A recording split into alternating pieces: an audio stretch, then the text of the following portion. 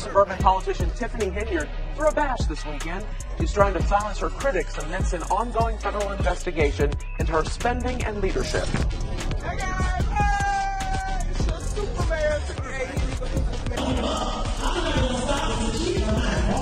It's Dawn. It's not Tiffany. All right, folks, buckle up because Mayor Tiffany Henyard is in the spotlight once again. This time, it's for throwing a jaw-dropping $85,000 party that's got everyone buzzing. With her town drowning in millions of dollars of debt, She's been using taxpayer money for extravagant events that seem more about the Instagram than the community. But her days of evading scrutiny are over leaked footage of Henyard's lavish party has just surfaced online.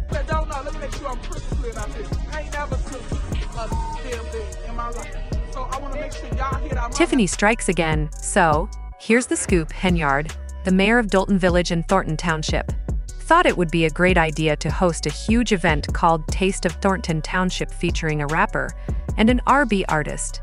But her colleagues were far from impressed and have now cancelled any future events. Yikes. Despite the backlash, Henyard seemed to be having a blast at the event. She even posted videos on social media, dancing and singing along to the music. Meanwhile, the rest of the town was left scratching their heads, wondering what was going on. One former trustee didn't hold back, calling the whole event a flop. Ouch. In a now cringe-worthy Facebook post from mid-August, Henyard hyped herself up as the super mayor and people's mayor proclaiming that there was always something happening. But it looks like this particular event wasn't quite the hit her team hoped for. Things took an even messier turn with the Taste of Thornton Township extravaganza. Henyard and her administration went all out, spending tens of thousands of dollars. They dropped $30,000 on an R&B performance by Kiki Wyatt and another $20,000 on rapper Jay Holiday Yup. $50,000 just for entertainment. According to Ween, the town also spent $6,600 on bouncy houses, plus additional funds for a sound system, staff, and equipment. When you add it all up, the total bill came to over $85,000. And all this was for an event with just 65 to 70 people. But wait, there's more.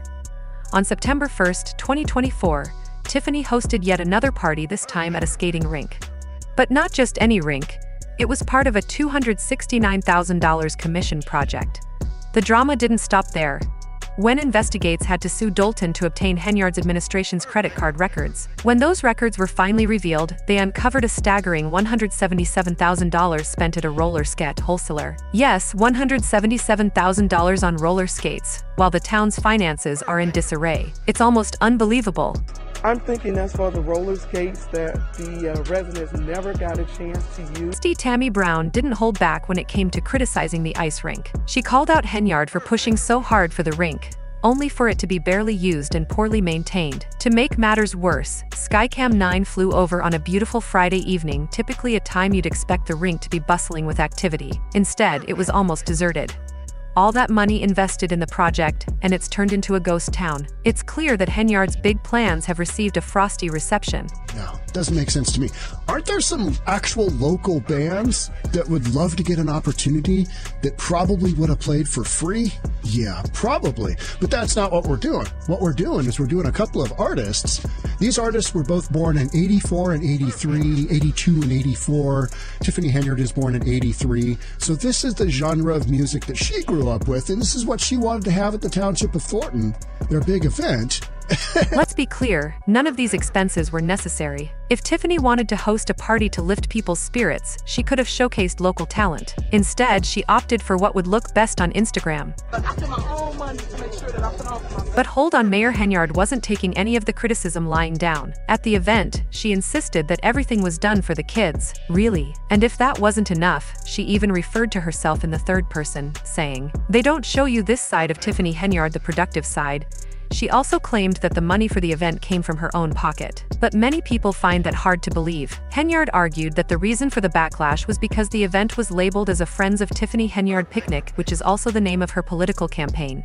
Clearly, the event was a PR move, especially given the recent allegations and the serious image issues she's been facing. And for those that don't know, let me make sure I'm crystal clear about this. I ain't never took a damn thing in my life. So I want to make sure y'all hear out my. Despite any potential boost in productivity, the party failed to attract much of a crowd, and the community is not pleased. Former Dolton trustee Valeria Stubbs came forward and labeled the entire event a We flop. like to use our tax dollars to promote herself.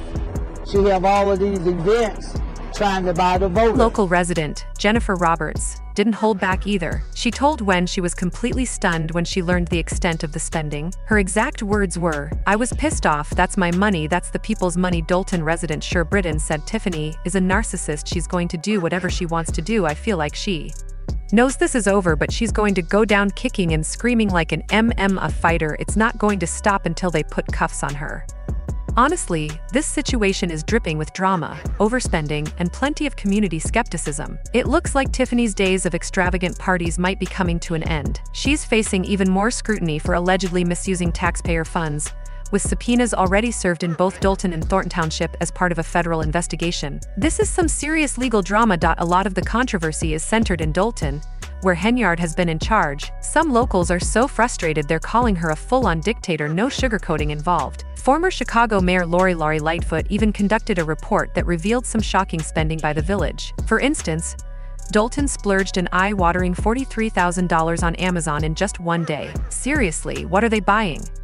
Meanwhile, the village's funds are running dangerously low. But the issues go beyond financial mismanagement. Henyard's leadership style is creating major rifts on the boards of Dolton and Thornton Township. Things have become so heated that another clash occurred at a recent meeting.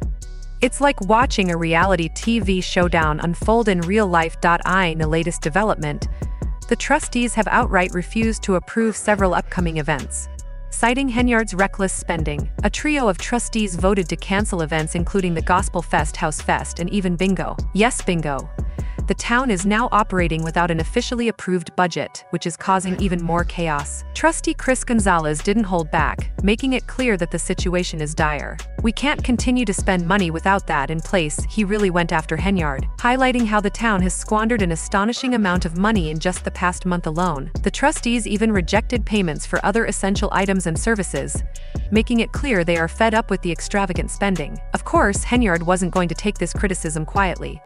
According to CBS Chicago, she fired back at her colleagues, accusing them of stalling progress in Thornton Township and not contributing any new ideas. She bluntly told them that they were blocking her team's efforts while bringing nothing to the table. It's like watching a political showdown turned reality TV drama.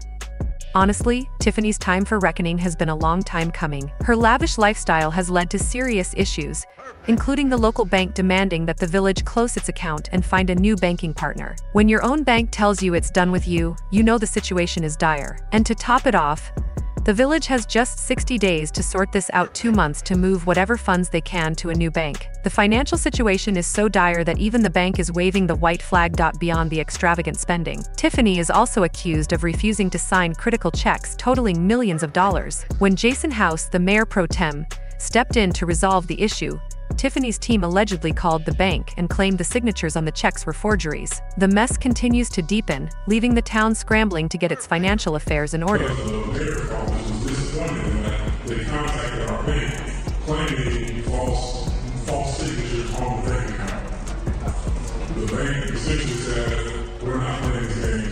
it's no surprise the bank backed out in the end. Tiffany Henyard's actions are a huge blow to the people of Dolton, spending $85,000 on a party while the village is deep in millions of dollars of debt is incredibly out of touch. To make matters worse, Tiffany had the nerve to do this while she's under federal investigation. Everyone is questioning how long authorities will allow Tiffany to continue her reckless behavior. As one person put it, she has bankrupted the entire city, and still giving away food and renting bouncy houses for kids to play on and spending $155,000 on roller skates, she needs to understand she is breaking the law jail is her future meanwhile. Another person wrote how long will it take for the state of Illinois to arrest a criminal the world may never know what are your thoughts on the situation. How long do you think Tiffany will continue to run her own show before facing any consequences? Share your opinions in the comments below.